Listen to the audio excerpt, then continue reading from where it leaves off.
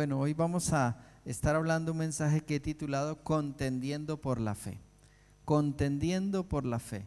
Es una frase que está en la carta de Judas, versículos, en el versículo 3 en particular, pero vamos a leer el versículo 3 y 4. Así que prepara tu corazón. Hoy es un día donde más que hacer una prédica voy a enseñar algo muy importante, así que eh, Animo a los que ya toman notas firmes, tomen notas hoy de todo lo que vamos a estar compartiendo y a los que habitualmente no toman notas, te animo a que hoy sea un día que cojas tu móvil, tu libreta, lo que hayas traído y apuntes cosas que Dios te va a enseñar y que va a cambiar mucho en tu vida. Dice Judas 1, eh, 3 y 4, dice, amados, por la gran solicitud que tenía de escribiros acerca de nuestra común salvación, me ha sido necesario escribiros exhortándoos que contendáis ardientemente por la fe que ha sido una vez dada a los santos. Porque algunos hombres han entrado encubiertamente, los que desde antes habían sido destinados para esta condenación, hombres impíos que convierten en libertinaje la gracia de nuestro Dios y niegan a Dios, el único soberano, y a nuestro Señor Jesucristo. Voy a leer también el versículo 3 en la versión Dios habla hoy, creo que saldrá en pantalla, así que presta atención. Solo el versículo 3 lo leeré en la versión Dios habla hoy. Dice, queridos hermanos, he sentido grandes deseos de escribirles acerca de la salvación que tanto ustedes como yo tenemos, pero ahora me veo en la necesidad de hacerlo para rogarles que luchen por la fe que una vez fue entregada al pueblo santo. Entonces, para empezar, eh, eh, hemos titulado este mensaje Contendiendo ardientemente por la fe. Quisiera empezar diciendo que en el sentido bíblico de este versículo la palabra contención no significa pelear, sino significa más bien defender. Por eso, cuando estaba el equipo de diseño haciendo el trabajo, me pusieron como un combate, me pasaron varias imágenes. Saray sufrió mucho esta semana conmigo porque le hice cambiar la imagen un montón de veces porque yo le dije, quiero que se entienda más la idea, no de pelea, sino de defensa. Defensa. Y entonces pensé en muchas ideas y al final me acordé, dije, los equipos de fútbol americano, que tienen varios, bueno, los equipos de deporte muchos tienen este sistema, pero, pero el equipo de fútbol americano me parece que representa mucho esto porque los, ¿cuántos sabéis algo de fútbol americano? Aunque sea algo mínimo. ¿Habéis visto a los, a los del equipo que son los como los más gorditos, los más pesados, como los y ellos no son los que corren con el balón, ellos son los que defienden.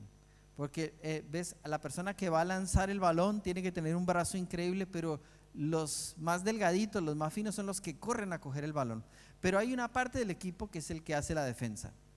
Y ese equipo, esos cuando son los que se plantan en tierra así, los habéis visto cuando van a hacer la primera jugada y son los que tienen que detener al equipo contrario y frenarlo. Entonces, esta es la idea que quiero que quede en tu mente, la de la defensa, la de la defensa. Así que contender, más que pelear, es defender.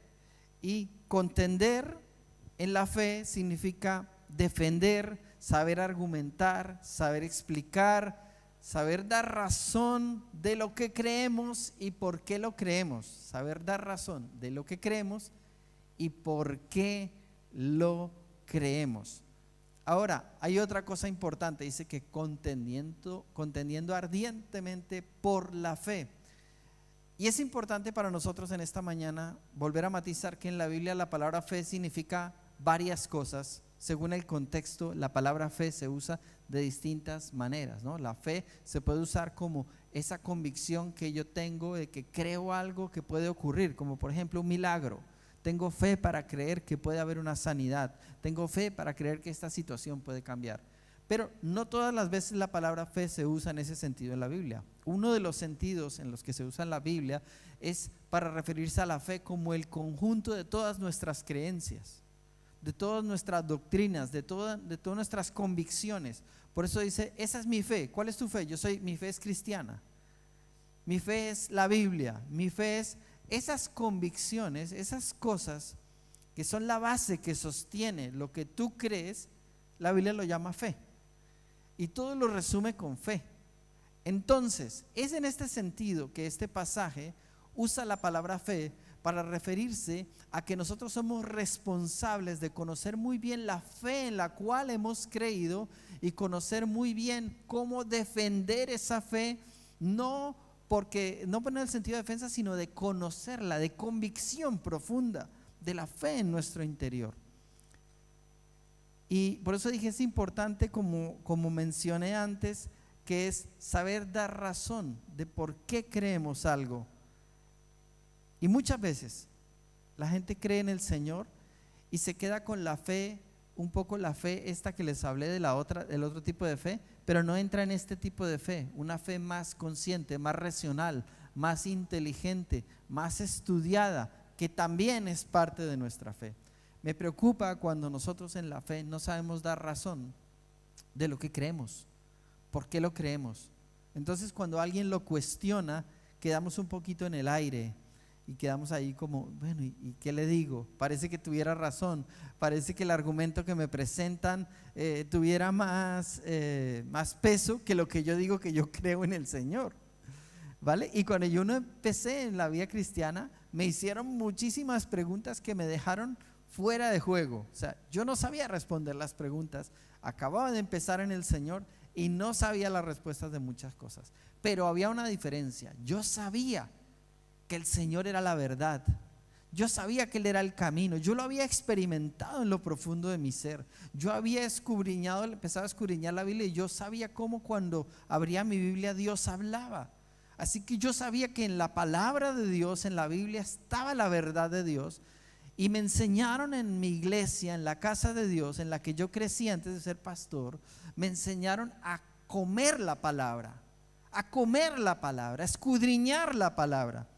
Y animaba en la primera reunión a todos los que se apuntaran al curso de escudriñando las escrituras, a lo importante que es en este tiempo que no seamos cristianos superficiales, que cuando vienen las pruebas y las circunstancias no saben la verdad de la palabra y entonces son movidos, sacudidos y muchas veces caen y se apartan. Si nosotros somos gente que escudriña las escrituras, y por eso, por eso hemos llamado a ese proyecto escudriñando las escrituras. Si nosotros somos gente que escudriña las escrituras, las escrituras van a estar siempre en nuestra mente, en nuestro corazón. La verdad del Señor va a estar obrando y trabajando en nosotros para cuidarnos. El Espíritu Santo va a vivificar esas verdades que nosotros meditamos para cuidar nuestra alma y nuestro corazón de las cosas que van a querer apartarnos. ¿Verdad? ¿Alguien dice amén en este lugar? Es así. Por eso el diablo quiere que tú no leas tu Biblia. Y por eso el diablo quiere que tú siempre, tu conocimiento de Dios siempre sea superficial. Superficial. Y es el tiempo de entrar en cosas más profundas. Te recuerdo, ¿por qué estamos diciendo todo lo que estamos diciendo? Porque en Judas, versículo 3, dice que nuestra responsabilidad es contender. ¿Y qué es contender? Defender.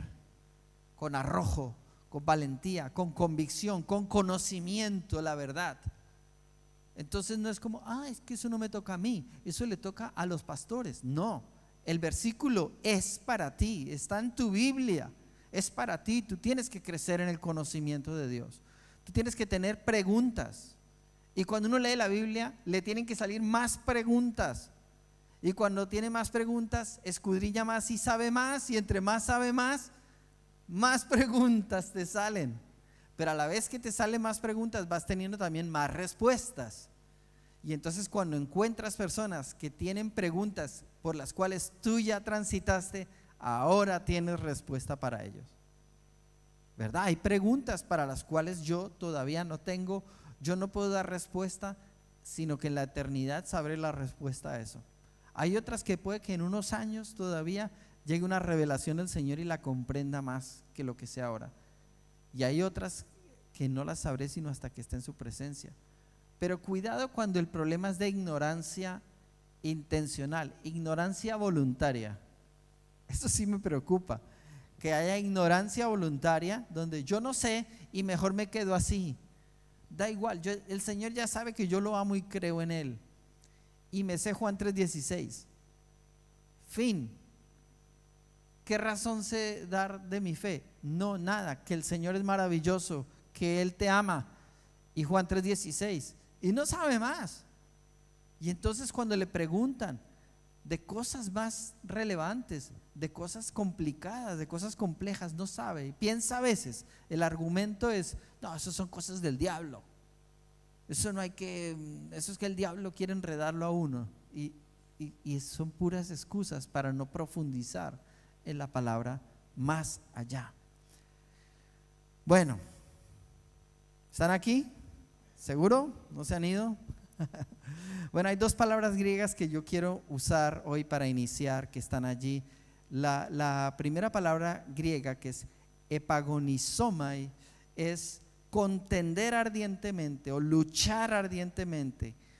Y la segunda palabra griega es pistis, que quiere decir como credibilidad, convicción, veracidad. Entonces, esas son las palabras que aparecen allí en nuestra frase, en nuestra frase de contender ardientemente por la fe, es, es luchar, contender como con, con convicción, con arrojo. O sea, por ejemplo, te voy a decir algo muy rápido. Si a ti te hacen una pregunta, están en una, hablando del Señor con alguien y alguien te hace una pregunta donde Él deja por los suelos al Señor, tú deberías, y tú no tienes la respuesta porque no sabes cómo defender eso, tú, vale, no supiste cómo defenderlo, pero tú deberías salir como con esa incomodidad, como con ese celo en el espíritu de irte a tu casa y decir, ¿cómo puede ser esto? Yo tengo que saber de esto. ¿Cómo es posible que yo tengo que saber de esto? O, saber dónde está un versículo. Por eso estamos memorizando los versículos, porque a veces, no, pues eso, eh, eso está en la Biblia. ¿Pero dónde? No, no sé. Yo alguna vez lo he leído o alguna vez lo he escuchado en una prédica, pero no sabemos, no podemos mostrarle a una persona de verdad las cosas. Entonces, esto es a lo que nos referimos con contender ardientemente es como esforzarte para crecer en la habilidad para enfrentarte en cualquier tipo de lucha que se pueda presentar, para defender, para exponer y para desarmar los argumentos que cualquiera, que el enemigo quiera levantar de cualquier forma para que una persona no conozca a Dios. Nuestra responsabilidad es poder tener toda la unción y los argumentos para poder derribar todo argumento que se presente en la vida de otras personas. Pero, por supuesto, el primer lugar donde tienen que crecer, derribarse los argumentos es en nosotros mismos. Por eso una persona que escudriña las escrituras, primero está permitiendo el proceso en su propia vida para poder luego que no hayan argumentos dentro de él.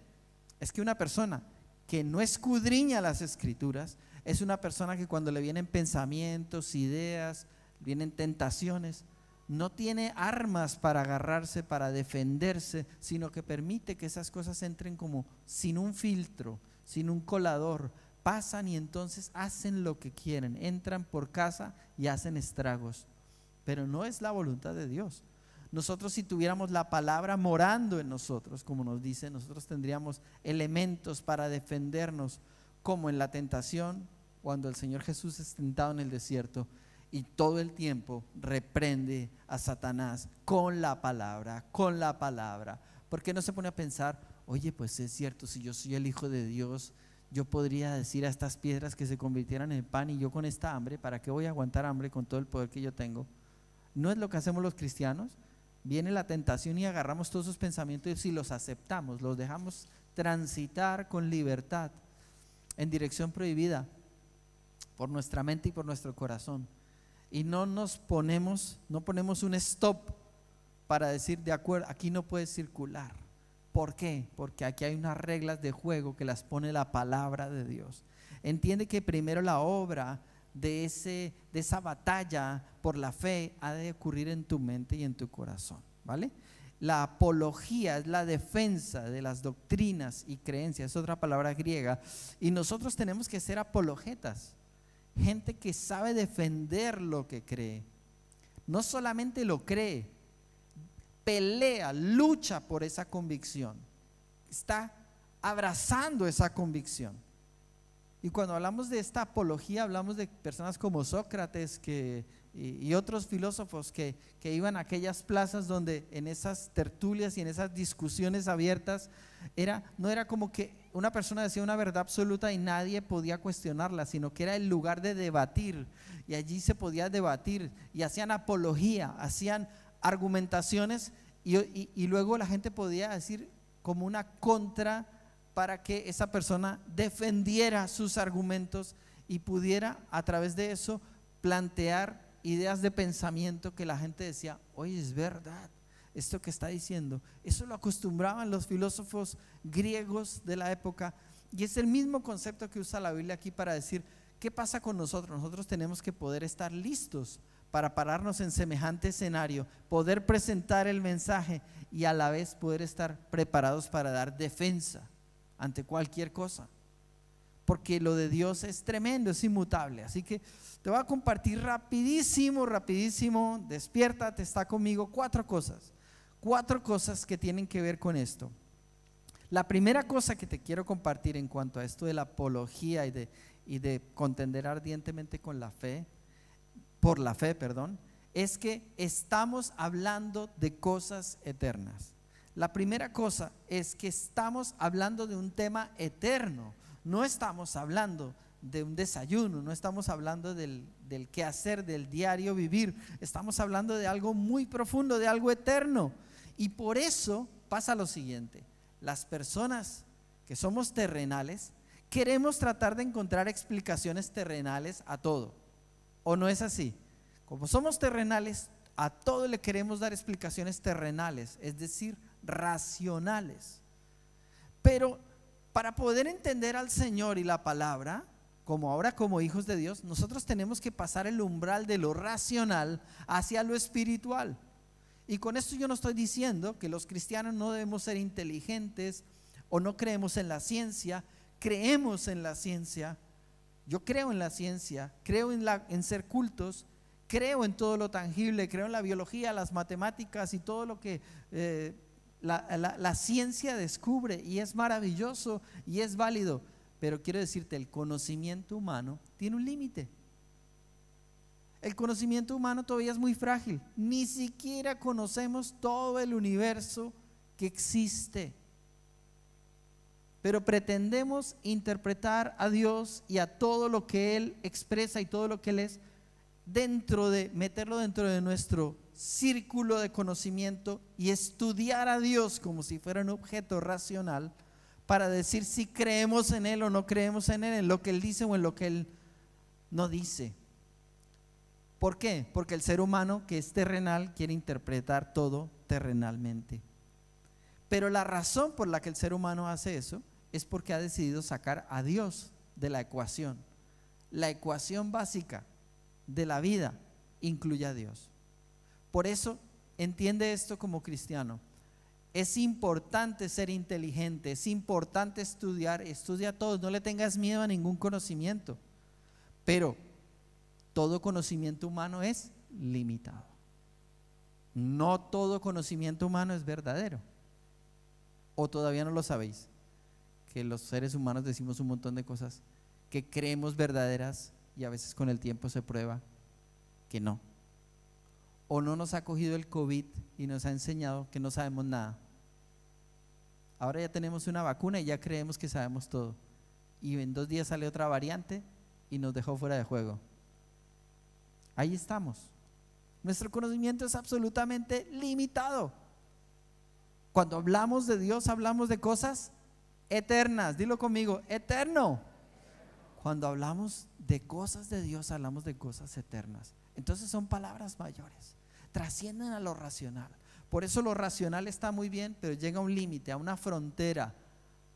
¿Sabes lo que es una frontera en un país, no? Que cuando cruzas ya estás en otro, otras reglas, otras condiciones. Ya no es el mismo país.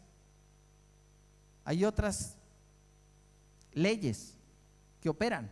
Pues eso es lo que pasa. Cuando nosotros estamos dentro de lo terrenal estamos operando bajo unas leyes, pero cuando entramos a lo espiritual quedan fuera de juego la parte de la razón, del intelecto. Se queda corto, no puede expresar realmente ni entender las cosas de Dios. para mí es muy importante que tú como cristiano entiendas eso. Porque si desde el principio no entiendes esto, todavía funciona todo por lo que sientes, por lo que piensas, por lo que otros dicen. En cambio, si tú lo entiendes, dice, espérate un momento, estamos hablando de algo más elevado que nosotros. Así que no tenemos todos los elementos aquí en la tierra. Necesitamos echar mano de una revelación más alta que no es esta, no es ni la ciencia ni la inteligencia humana.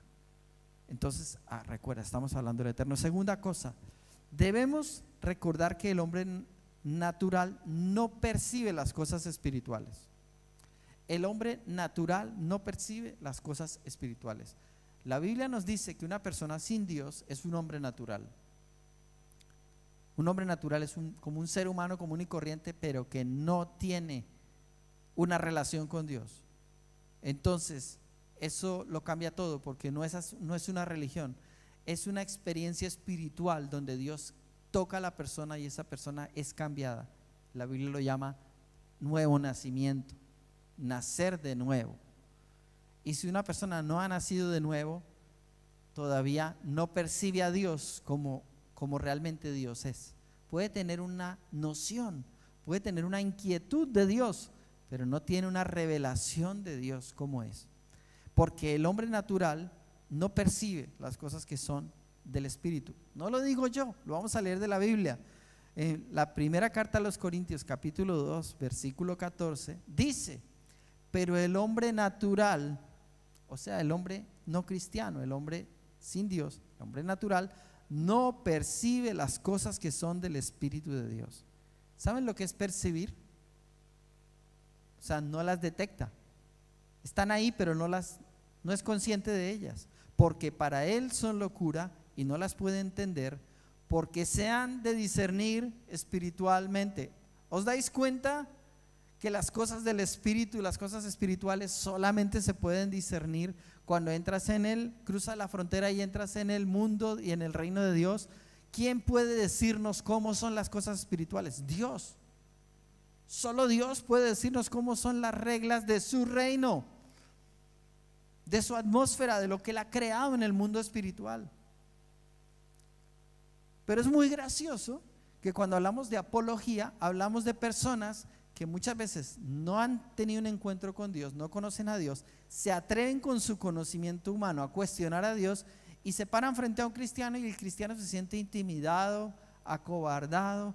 Cuando le hacen preguntas, él mismo acepta esas preguntas y entra en cuestionamientos que le hacen entrar en dudas de su propia fe y diga, ¿será así es cierto? Oye, o sea, yo acepto que alguien que está bajo las reglas de un mundo natural me diga y me hable de, lo que está, de lo que él cree del mundo sobrenatural en el cual no ha entrado, no conoce y no percibe.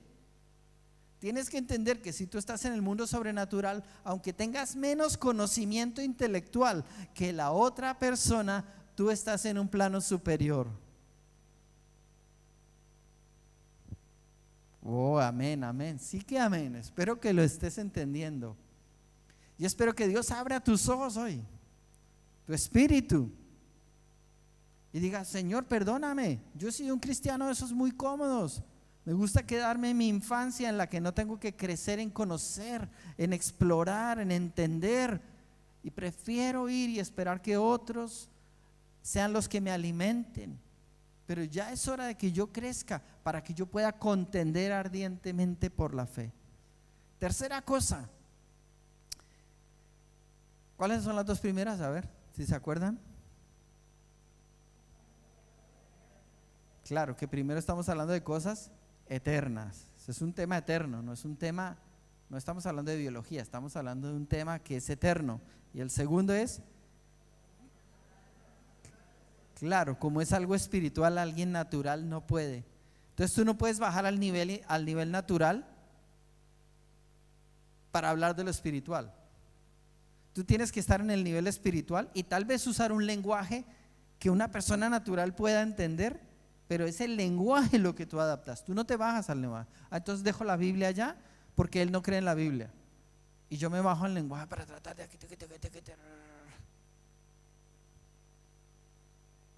porque eso no funciona. La fe, la fe es algo espiritual. Por eso Pablo insiste que el Evangelio es poder de Dios para salvación. Es el dínamos, la dinamita de Dios para salvación. El Evangelio es mucho más que conocimiento, es algo, un poder espiritual impresionante. La tercera cosa es que aunque nosotros seamos espirituales, ya salimos del plano natural, aunque seamos espirituales, no quiere decir que lo entendemos todo. Entonces aquí también hay que cuidarnos de pensar que si no entendemos algo, que si no sabemos algo, entonces no es verdad. Solamente acepto verdad lo que yo ya haya entendido, lo que yo ya haya percibido, ¿cierto? Nosotros no podemos pretender saberlo todo. Créeme que aunque conozcamos al Señor y aunque invirtamos toda nuestra vida a estudiar la Biblia y a conocer y a estar en oración y a mover en el Espíritu, cada día conoceremos más de Dios, cada día conoceremos más del mover espiritual, cada día entenderemos más las escrituras, cada día entenderemos más el cumplimiento de lo que Dios está haciendo proféticamente, pero no quiere decir que lo sabemos todo. Hay un montón de cosas que no sé. Hay un montón de preguntas que tengo de por qué Dios permite que ocurran las cosas de una manera y no de otra. O por qué Dios hace esto así y no lo hace de aquella manera. Si a mí me parece más lógico hacer esto. Entonces tenemos que bajarnos de la nube y en total humildad reconocer que aunque somos espirituales, aunque conozcamos al Señor, no lo sabemos todo. No lo sabemos todo. Por favor, dile al que tienes al lado, ábrele los ojos bien y diles, tú no lo sabes todo. y luego te, te señalas a ti mismo y dices, y yo tampoco. y yo tampoco lo sé todo. No, no, no sé. No sé. Claro que nos formamos criterios en la vida y en la medida que tenemos experiencias y vivencias, todos vamos formando un criterio de vida con el cual construimos una manera de entender y vivir la vida. Pero si realmente eres humilde, sabes que muchas veces nuestros criterios de vida han estado equivocados o han sido herencia de nuestros padres. No han pasado por el filtro de la palabra de Dios, nuestros criterios de vida. Ah, a mí me parece que esto está bien. Ah, a mí me gusta. ¿Y qué dice la palabra de eso? Ah, yo no tengo tiempo para eso. No, no, no, lo que pasa es que no quieres pasar por el filtro de la palabra de Dios para que te diga que eso es un pecado, para que te digas que eso es un acto de rebeldía, de orgullo, de soberbia, para que te diga que es grave, porque si dices que eres cristiano, como nos dice la carta a los hebreos, y aún sigues practicando el pecado, hay una horrenda expectación sobre ti, porque dices que eres cristiano, pero al final sigues en vida de pecado. Y una cosa es el que no conoce a Dios, otra cosa es el que ha conocido a Dios. Fíjate, de lo que yo te estoy hablando es algo en lo que se supone que tú lees tu Biblia y cuando tú lees tu Biblia entiendes eso. Y cuando entiendes dice, madre mía, con el Señor yo no puedo jugar. Con el Señor las cosas son en serio. Entonces, no pretendemos saberlo todo porque no comprendemos algo. Entonces, tenemos que cuidar de decir que porque no lo comprendemos no es verdad. ¿Por qué? Porque todo lo que Dios dice y hace es verdad. Lo vamos a ver ahora en último punto. Miren esta escritura que a mí me gusta mucho, la uso mucho. Segunda de Pedro 3, 15 al 17 dice, y tened entendido que la paciencia de nuestro Señor es para salvación, porque también nuestro amado hermano Pablo, Está hablando Pedro. Nuestro amado hermano Pablo, según la sabiduría que le ha sido dada, os ha escrito casi en todas sus epístolas, hablando en ellas de estas cosas, entre las cuales hay algunas que dice ahí. Una vez más, dilo conmigo en voz alta. Difíciles de entender. Mira quién está hablando, si este es el líder más duro de la iglesia. Y este es más tremendo podría sacar la fachada del líder. No, yo no le puedo mostrar a nadie que cuando Pablo escribe algo, yo a ese hombre no le entiendo. O que está hablando de una revelación más profunda que todavía a mí me cuesta procesarla. Y estamos hablando del líder más significativo que Jesús dejó dentro de sus doce. Porque Pedro era el más significativo de los doce, ¿no? Y sin embargo, él dice aquí que Pablo a veces escribe algunas cosas que son difíciles de entender. Y tú vas a encontrar en tu Biblia cosas que son difíciles de entender.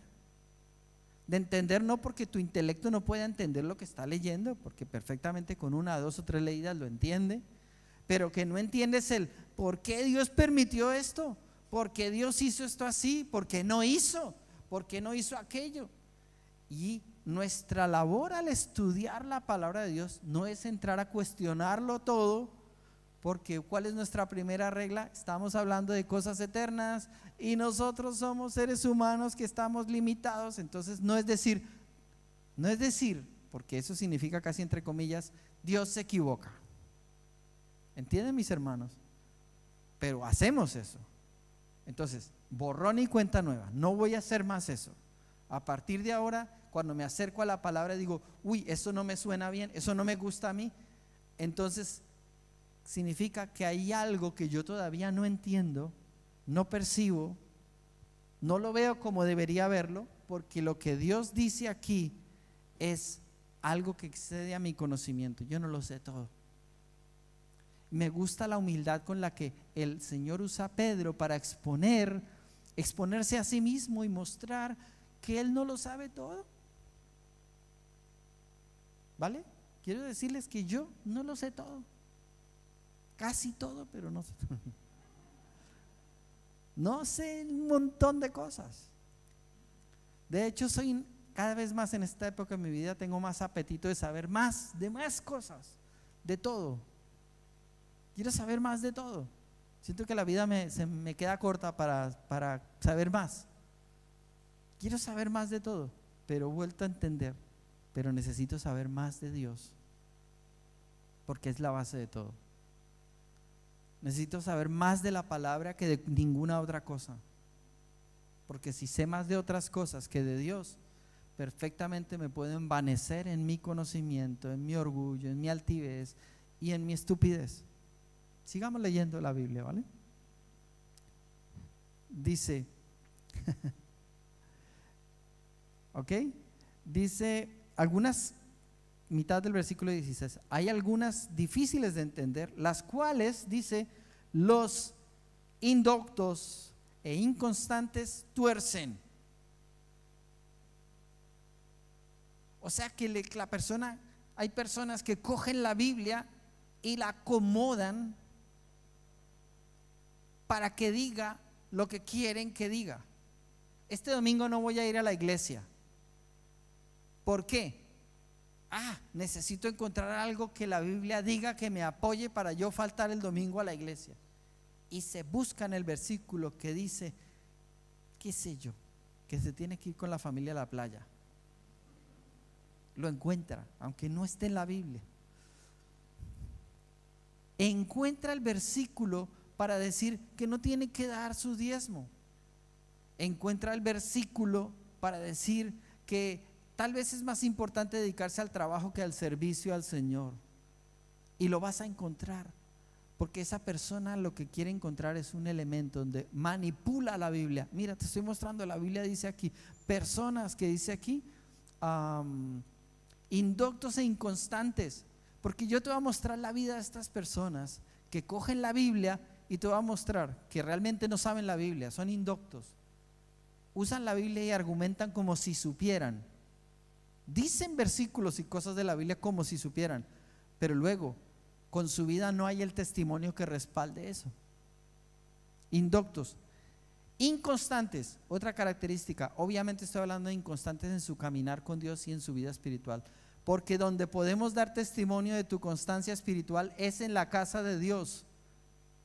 Cuando tú eres fiel a otros, otros son los que pueden hablar de tu testimonio. Pero cuando tú no eres fiel con Dios, tú vives tu testimonio a solas y le dices a todo el mundo, yo estoy bien.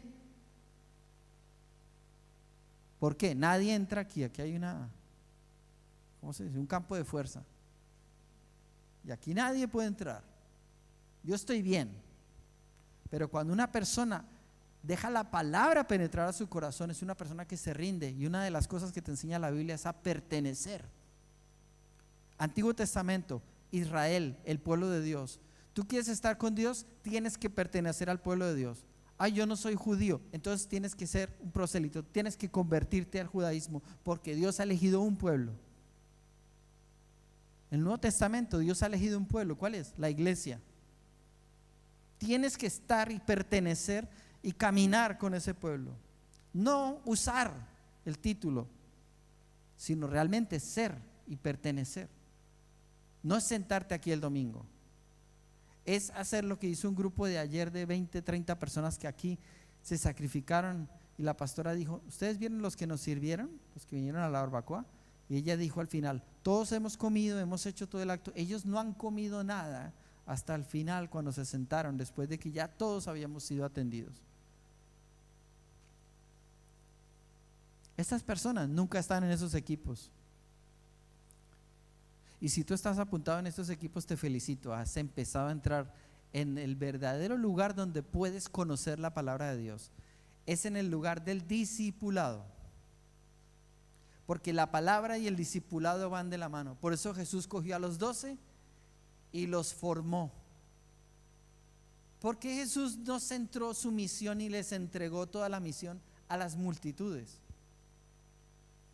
Era más fácil entrenar a miles de personas y vayan y cuéntenle a la gente. Él entrena a doce y les dice a ellos, ustedes son los que van a ser mis apóstoles, mis mensajeros. ¿Por qué? Porque Él no solo les imparte conocimiento, hay una conexión espiritual que está entre la palabra y la transmisión espiritual. Y eso se llama el discipulado. El discipulado no son cuatro cursos que tenemos para cuando llegas a la iglesia. El discipulado es cuando tú vienes y dices, pastor, necesito caminar con Dios y mi vida no ha sido recta. Enséñame, voy a exponerme para que yo pueda caminar, pastora o líderes o a quien sea. Necesito que mi vida cambie. Yo soy una, persona hipócrita. Digo una cosa, pero luego vivo otra cosa.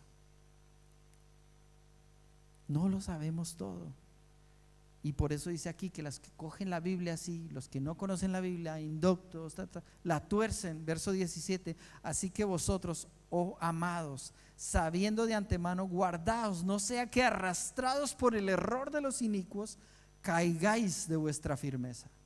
Y aquí habla de gente que está firme, pero que cuando escucha a estos que manipulan la, la información y manipulan la verdad, o que no tienen fundamentos fuertes en la verdad, escuchan a estos inductos que tuercen las cosas y se desvían. Entonces hoy estás claro aquí en lo que tienes que hacer y mañana escuchas o a tu propio corazón o a lo que te dice fulano de tal y ya se fue toda la verdad. ¿Dónde está el fundamento? ¿Cuál es la verdadera fe que dices que tienes? parte de esa fe es fundamento en la palabra que has procesado y estudiado bajo un discipulado. Porque la gente que no quiere discipulado quiere interpretación libre. Y para eso nos vamos que ya hay unas cuantas sectas por ahí rodando. El que se salió de las iglesias y dijo yo tengo mi propia revelación y lo voy a hacer a mi manera. Y yo entiendo que aparecieron ocho ángeles y me acaban de revelar tal cosa. Y van a decir cuánta cosa. A mí me enseñaron a ser una persona sujeta. A mí me enseñaron a caminar bajo discipulado, bajo mentorado. A mí me enseñaron que me iban a corregir, me iban a mostrar el camino. Gente que iba caminando y que me iba mostrando porque su propia vida había caminado ese mismo camino. Yo honro a esas personas. Y yo quiero ser uno de ellos para otras personas. Y que tú lo seas para otras personas. Y que realmente practiquemos el modelo de discipulado del Señor Jesús. De ir y hacer discípulos. No solamente enseñar. Pero fíjate que el cierre de esa comisión es mandándoles que guarden todas las cosas que yo os he enseñado. no era transmisión de conocimiento era yo viví, yo os transmití, ahora vosotros ir y transmitir lo mismo a los otros. Y por último, cuarto, las cosas espirituales son absolutas y son verdad. Escucha esto, las cosas espirituales son absolutas y son verdad. Todo lo que Dios dice y hace es absoluto. Jamás se equivoca. La Biblia, por eso es importante la escritura que hemos leído hoy, porque la Biblia es la revelación que ha sido dada una vez a los santos y para siempre. La Biblia es la revelación completa de principio a fin de lo que Dios quería decirnos a nosotros. No hay que quitarle ni añadirle, ni puntos ni comas. Ahí está muy claro en el Apocalipsis también, ¿no? Cualquiera que le añada un punto, una coma, esto sea anatema y le viene la maldición por tratar de añadirle a la palabra. Pero los cristianos somos como estos fariseos, añadiéndole, quitándole, recortando. Pero nosotros tenemos que entender que Dios es perfecto, aunque nosotros no entendamos todas las cosas, ¿de acuerdo? Porque Dios que nos ha llamado a pelear por nuestra fe, Él ha declarado y todo lo que Él declara es absoluto. Nos guste o no nos guste. Lo entendamos o no lo entendamos. Cuando no entiendas algo, en humildad busca al Señor y busca a esos discipuladores, entonces probablemente no los tienes, probablemente no tienes un mentor, una figura a la que, entonces búscala. Empieza a decir en la iglesia, Mariela, quiero estar cerca de ti, Karina, quiero estar cerca de ti, Flavia, quiero honrar tu ministerio, enséñame más, Laura, enséñame más, Alejandra, enséñame más. En los hombres está Diego como cabeza dentro del equipo principal, pero hay otros hombres como Víctor, como Pedro, como Germán, que están en un proceso de crecer para convertirse en modelos que deben ser no solamente de fidelidad, que yo les agradezco, ustedes son muy fieles, pero claro, necesitamos el, el paquete completo. Palabra, madurez, dones, talentos todo el completo sirviéndole a Dios, porque necesitamos una generación que tenga un espejo en el que pueda reflejarse. Y esa verdad inmutable que vamos a aprender en el discipulado es así. A veces te van a decir una verdad que no te gusta, aunque te enojes, vete, procésala y vuelve y di, vale, está bien, Diego. Es así. No me gustó que me dijeras eso, pero está bien voy a hacer caso. No como algunos que se van enojados y ya, se van en rebeldía. Tenemos que estar, y este es mi punto con el que quiero cerrar, tenemos que estar dispuestos a ser enseñados y corregidos, porque si no, nunca vamos a ser realmente gente que defiende la fe, o no sé qué clase de fe es la que puede defender esa persona. Porque mi fe no es conocimiento, mi fe es una experiencia de todo lo que he aprendido puesto en la práctica. Ese es el discipulado. La palabra comida, digerida, procesada y puesta en la práctica a través de un discipulado. Ahí, entonces, esas verdades son inmutables. Y termino con esta escritura, dice Efesios 4, 11 y 12. Y él mismo, Jesucristo, constituyó a unos, o él los nombró, los estableció, constituyó a unos apóstoles, a otros apóstoles, a, perdón, a unos apóstoles, a otros profetas, a otros evangelistas, a otros pastores y maestros, a fin de perfeccionar a los santos para la obra del ministerio, para la edificación del cuerpo de Cristo. Y allí vemos que cuando yo hablo de este discipulado, de esta enseñanza, de esta corrección, para eso Dios ha dejado los ministerios. Jesús ha establecido sus ministros para que puedan perfeccionar a los santos para la obra, los santos somos nosotros los cristianos, para la obra del ministerio, para que hagamos la misión que Dios tiene para con nosotros. Pongámonos en pie.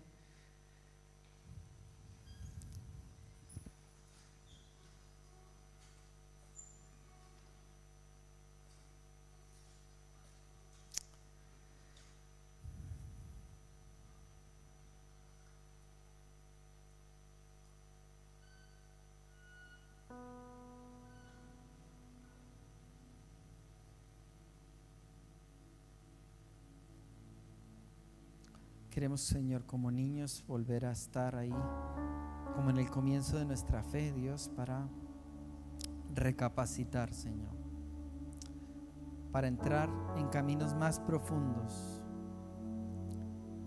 porque nunca vamos a poder defender la fe en la que creemos si primero no ha pasado un proceso interno que ha calado en nuestro ser interior, que ha transformado que la palabra se hace carne en nosotros. No podemos contender por la fe si realmente no hemos tomado tiempo para estudiar, para hacernos preguntas, para preguntar a otros que nos enseñen.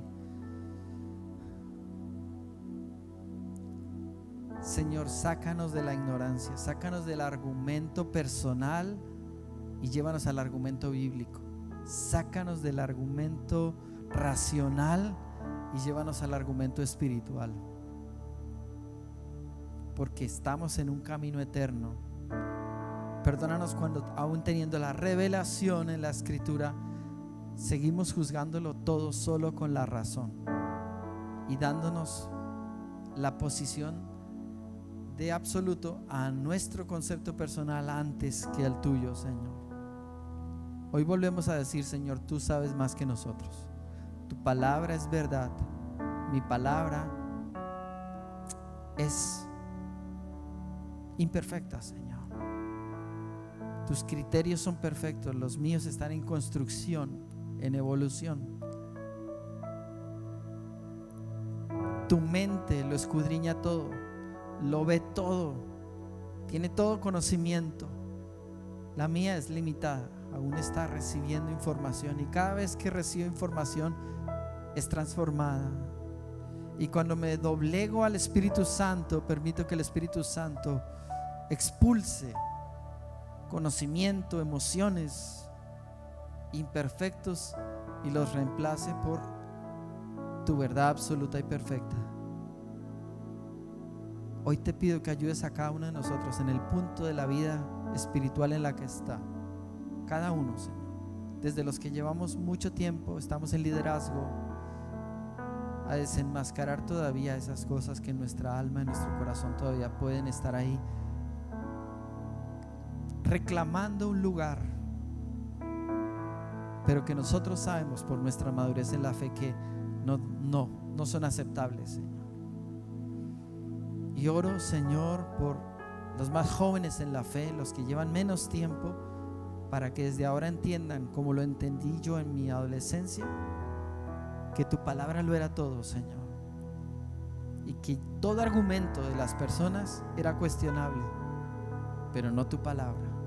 Gracias por la palabra perfecta, eterna. Permítenos comerla, creerla, confiar en ella, conocerla, respirarla, transmitirla, amarla, honrar esa escritura vivirla en nuestro corazón, en nuestra casa, en nuestro trabajo, nuestro estudio, y que todo eso, Señor, cuando sea el momento, Señor, podamos levantar la voz y mostrar y hablar con convicción verdadera, Señor, de las cosas correctas. Ayúdanos a ser personas que creen en la palabra y pueden corregir a otros por amor a esos hermanos. Te lo pedimos en el nombre de Jesús.